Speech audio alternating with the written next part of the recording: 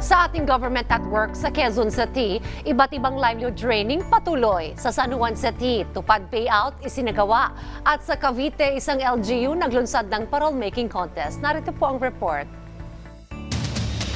Tuloy-tuloy ang pagbibigay ng lokal na pamahalaan ng Quezon City ng mga pagsasanay para sa mga nais magsimula ng sarili nilang kabuhayan. Sa tulong ng iba't ibang livelihood training, nahasa pa ang kakayahan ng mga residente sa iba't ibang kasanayan. Hinimok ng LGU mga nais mag-apply sa kanilang programa na magparehistro online.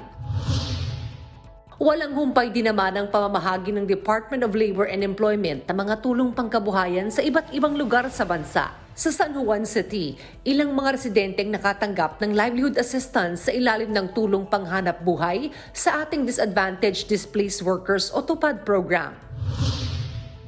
Ibinida naman ng lokal na pamahalaan ng General Mariano Alvarez ang pagiging malikhain ng kanilang mga residente sa isinagawang Pasko T-Top 2021 Parole Making Contest. Gawa sa iba't ibang material ng mga nagagandahang parol kung saan inaabangan naman ang anunsyo ng mananalo sa darating na biyernes kasabay ng Christmas lighting ceremony sa Municipal Plaza.